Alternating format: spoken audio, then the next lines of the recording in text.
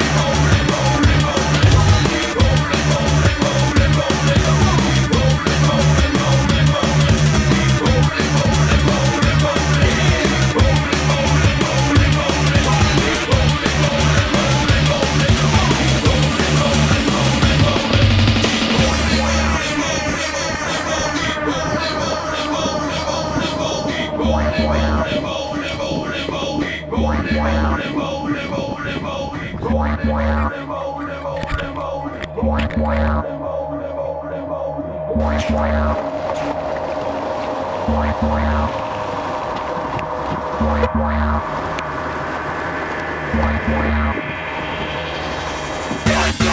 times!